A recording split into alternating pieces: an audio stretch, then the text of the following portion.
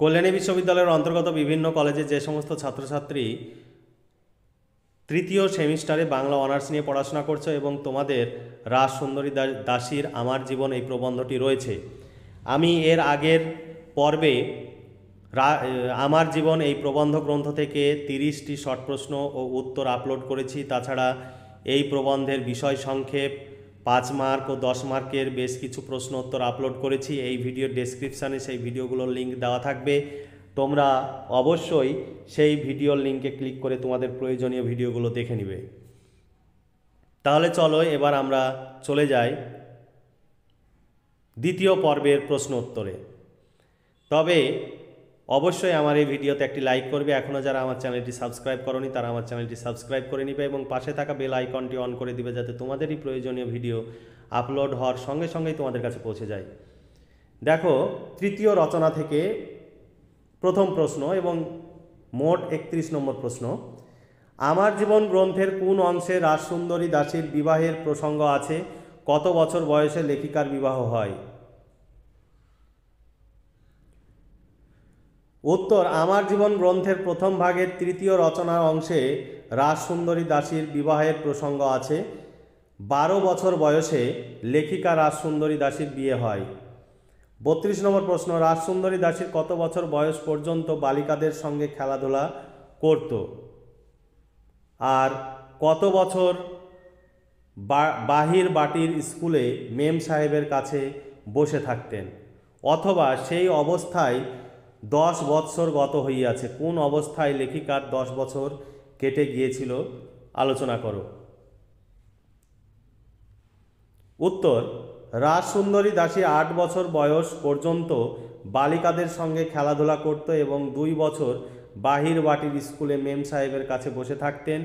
এইভাবে লেখিকার জীবনের দশ বছর কেটে গেছে। তেত্রিশ নম্বর প্রশ্ন আমার মরণ হইলেই বাঁচি, আমি আর কাজ করিতে পারি না। কার কথা বলা হয়েছে, সে কেন কাজ করতে পারে না? উত্তর, প্রশ্নধৃত অংশটিতে লেখিকা রাজসুন্দরী দাসীর এক জ্ঞাতি খুড়িমার কথা বলা হয়েছে। খুড়িমার হাতে পায়ে রস বাতের বেদনা ছিল বলে সে নিজের মৃত্যু কামনা করেছে। চৌত্রিশ নম্বর প্রশ্ন, সেই বাটিতে অধিক লোক ছিল না। কোন বাড়ির কথা বলা হয়েছে? সেই বাড়িতে কারা কারা ছিল? উত্তর, আলোচ্যমান অংশে লেখিকা রাজসুন্দরী দাসীর বাড়ির কাছাকাছি এক জ্ঞাতি খুড়িমার বাড়ি আছে। সেই বাড়িতে অধিক লোক ছিল না। খুড়িরা তিনজন আর খুড়িমা আর ছেলেপিলে কয়টি মাত্র? পঁয়ত্রিশ নম্বর প্রশ্ন, খুড়িমার ওই সকল খেদোক্তি শুনিয়া আমার মনে ভারী কষ্ট হইত। খুড়িমার কোন কথা শুনে লেখিকার মনে কষ্ট হতো?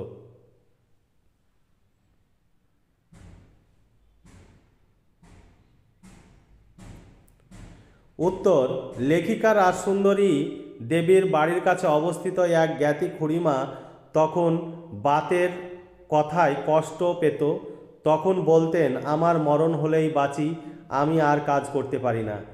খুড়িমার এই খদুক, খেদুকটি শুনে লেখিকার মনের মধ্যে বড় কষ্ট হতো। ছত্রিশ নম্বর প্রশ্ন, আমি অতি মূঢ়মতি। আমার জীবন গ্রন্থের কোন অংশে আছে? এটি কোন রীতিতে লেখা? উত্তর, রাজসুন্দরী দাসীর আমার জীবন গ্রন্থের প্রথম খণ্ডের তৃতীয় রচনার সূচনা অংশে আছে। এই কবিতাটি ত্রিপদী আকারে লেখা। ত্রিপদী ছন্দে লেখা। এবার চতুর্থ রচনা থেকে কয়েকটি প্রশ্ন। সাঁত্রিশ নম্বর প্রশ্ন, আমার জীবন গ্রন্থের প্রথম খণ্ডের চতুর্থ রচনার শুরুতে যে কবিতাটি আছে, তার প্রথম দুটি লাইন লেখো। উত্তর, রাজসুন্দরী দাসীর লেখা, আমার জীবন গ্রন্থের প্রথম খণ্ডের চতুর্থ রচনার শুরুতে যে কবিতা আছে, তার প্রথম দুটি লাইন নিম্নরূপ ওহে প্রভু বিশ্বেশ্বর, বিশ্বব্যাপী, বিশ্বম্ভর, বিশ্বের ঈশ্বর বিশ্বময়। আটত্রিশ নম্বর প্রশ্ন, লেখিকাকে বিয়ের পর বাপের বাড়ি থেকে কতদিন শ্বশুর বাড়িতে পাঠানো হয়নি? তিনি সেই সময় কোথায় থাকতেন? উত্তর, লেখিকাকে বিয়ের পর বাপের বাড়ি থেকে তার খুড়া এক বছর শ্বশুর বাড়িতে পাঠাননি। উনচল্লিশ নম্বর প্রশ্ন, লেখিকার শ্বশুর বাড়িতে মোট কতজন চাকরানি ছিল? তারা কোথায় কাজ করত? লেখিকা রাজসুন্দরী দেবীর শ্বশুর বাড়িতে মোট নয় জন চাকরানি ছিল। সেই সকল চাকরানিদের মধ্যে একজন ঘরে কাজ করতেন আর আটজন বাইরে কাজ করতেন। চল্লিশ নম্বর প্রশ্ন, আমি ওই বাড়ি আনিয়া নানাবিধ জিনিস তৈয়ার করিতে আরম্ভ করিলাম। লেখিকা, এটা বাড়ি না, এটা কড়ি কড়ি হবে। আমি ওই কড়ি আনিয়া নানাবিধ জিনিস তৈরি করতে আরম্ভ করলাম। লেখিকা কড়ি দিয়ে কি কি জিনিস বানিয়েছিল? এটি এটি পড়েছিল একটি বছর। উত্তর দেখো, প্রশ্নোদ্ধৃত অংশে লেখিকা কড়ি দিয়ে ঝাড়, পদ্ম, আরশি ছত্র, আলনা, ছিকা প্রভৃতি বানিয়েছিল। পঞ্চম রচনা থেকে কয়েকটি প্রশ্ন আছে। পঞ্চম রচনা একচল্লিশ নম্বর প্রশ্ন, ওই সময়ে একটি, একজন লোক আসিয়া অতিথি হইল। লোকটি জাতিতে কি ছিল? সে কি খেতে চেয়েছিল? উত্তর, প্রশ্নোদ্ধৃত অংশে লোকটি জাতিতে নমশূদ্র ছিল, সে ভাত খেতে চেয়েছিল।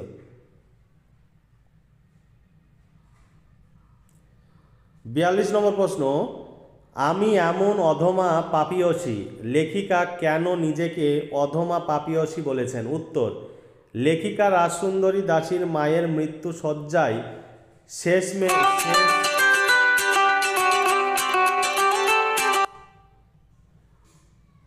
শেষ ইচ্ছে ছিল। লেখিকা রাজসুন্দরী দাসীর মায়ের মৃত্যু শয্যায় শেষ ইচ্ছা ছিল। মেয়েকে একবার দেখার, কিন্তু মেয়ে হিসাবে সেই ইচ্ছা পূরণ না করায় নিজেকে অধমা পাপিয়সী বলে মনে হয়েছে। ষষ্ঠ রচনা থেকে কয়েকটি প্রশ্ন রয়েছে।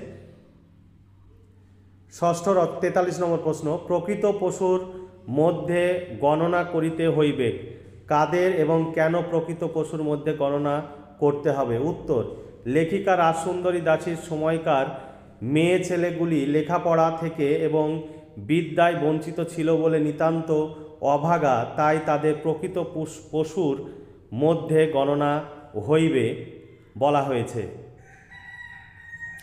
চল্লিশ নম্বর প্রশ্ন, চৈতন্য ভাগবত পুস্তকটি কোথায় লুকিয়ে রাখা হয়েছিল?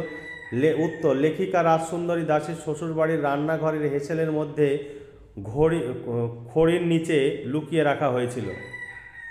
এটা ঘড়ির নিচে, এটা ঘড়ি হবে, ঘড়ির নিচে লুকিয়ে রাখা হয়েছিল।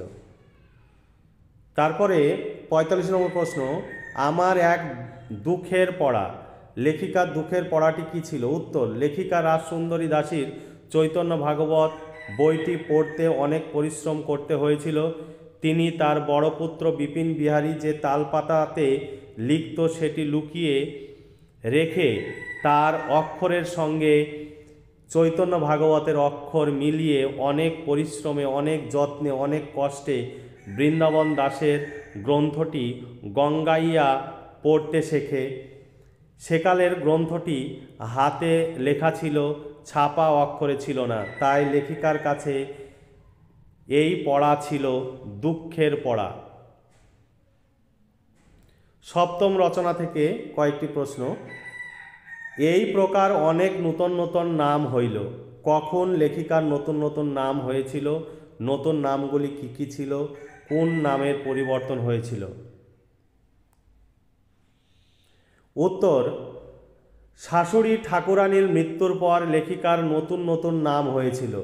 নতুন নামগুলি ছিল, কেউ বলতো মা, কেউ বলতো ঠাকুরানী, কেউ বা বলতো বউ, কেউ বা বলতো বউ ঠাকুরানী, কেউ বলতো বাবুর মা কেউ বলতো কর্তা মা, কেউ বলতো কর্তা ঠাকুরানী, নতুন বউ নামের এই পরিবর্তন ঘটেছিল।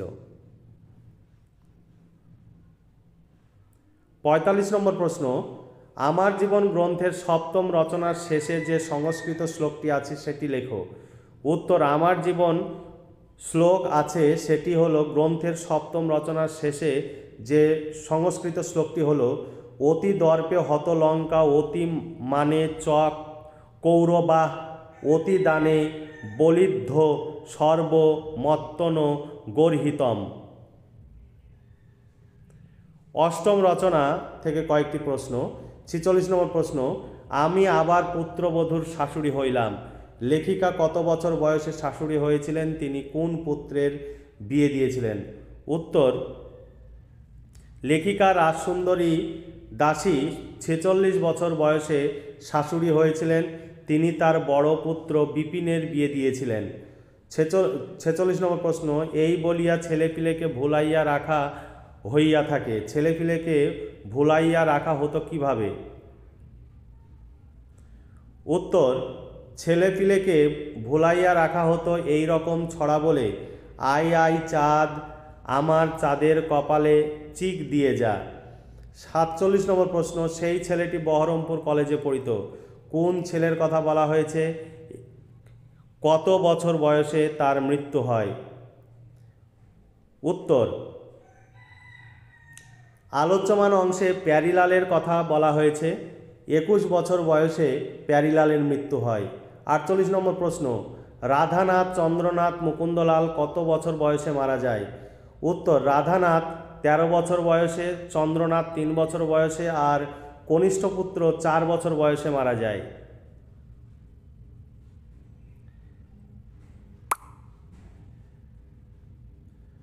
ঊনপঞ্চাশ নম্বর, বিপিন বিহারীর দুটি পুত্র সন্তান কত বছর বয়সে মারা যায়? উত্তর, বিপিন বিহারীর দুটি পুত্র সন্তান তিন ও চার বছর বয়সে মারা যায়।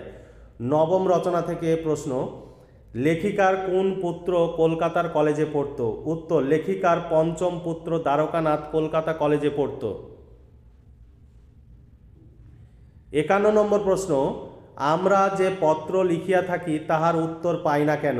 বক্তাকে উদ্দিষ্ট ব্যক্তি উত্তরে কি জানিয়েছিল? উত্তর, লেখিকা রাজসুন্দরী দাসীর সপ্তম পুত্র কিশোরীলাল আলোচ্য উদ্ধৃতা, উদ্ধৃতাংশটির বক্তা, উদ্দিষ্ট ব্যক্তি অর্থাৎ লেখিকা উত্তরে জানিয়েছিল যে আমি পড়িতে পারি, আমি পড়িতে পারি। এই জন্য তোমাদের পত্র পড়িয়া থাকি, আমি তো লিখিতে জানি না, সেই জন্যই উত্তর দেওয়া হয় না। তিপান্ন নম্বর প্রশ্ন, দ্বারকানাথের বিষয় কর্মের স্থান কোথায় ছিল? উত্তর, দ্বারকানাথের বিষয় কর্মের স্থান ছিল কাঁঠাল পোতা কাঁঠাল পোতা দশম রচনা থেকে কয়েকটি প্রশ্ন চুয়ান্ন নম্বর প্রশ্ন, কবে, কোন দিনে লেখিকা রাজসুন্দরী দাসীর স্বামীর মৃত্যু হয়? উত্তর, বারোশো পঁচাত্তর সালের উনত্রিশে মাঘ, শিব চতুর্দশীর দিনে দুপুর আড়াইটার সময় লেখিকা রাজসুন্দরী দাসীর স্বামীর মৃত্যু হয়। ভীষণ ইম্পর্টেন্ট প্রশ্ন।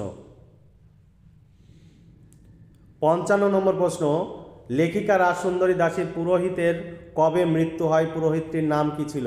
উত্তর বারোশো পঁচাত্তর সালের অগ্রহায়ণ মাসের প্রথম দিনে পুরোহিত গুণনিধি চক্রবর্তীর মৃত্যু হয়। পুরোহিতের নাম ছিল গুণনিধি চক্রবর্তী। একাদশতম রচনা। ধন্য তুমি, ধন্য ধন্য তুমি পূর্ণ ব্রাহ্ম সনাতন। গ্রন্থের নাম উল্লেখ করে কোন রচনার অংশ এটি? এর পরবর্তী লাইনটি লেখো। উত্তর, রাজসুন্দরী দাসীর লেখা, আমার জীবন গ্রন্থের একাদশ রচনার লাইন এটি। এর পরবর্তী লাইনটি হল, ওই চরণে অধীনীর এই নিবেদন। দ্বাদশ রচনা থেকে প্রশ্ন, আমার জীবন গ্রন্থের দ্বাদশ রচনাতে লেখিকা কাদেরকে পরিহার করেছেন? উত্তর, আম, আমার জীবন গ্রন্থের দ্বাদশ রচনাতে লেখিকা সাধুজনদের পরিহার করেছেন। ত্রয়োদশ রচনা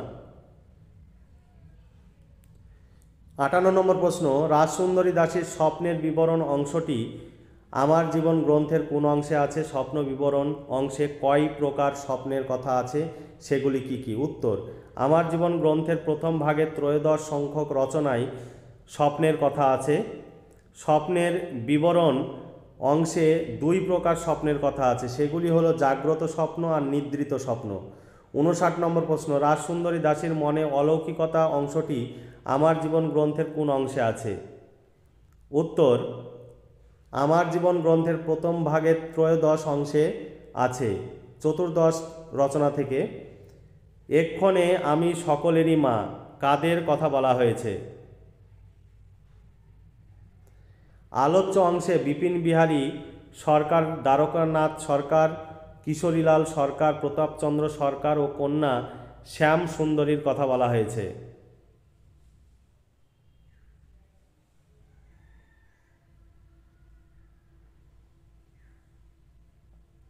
তাহলে এই ছিল আজকের দ্বিতীয় পর্বের তিরিশটি প্রশ্ন ও উত্তর।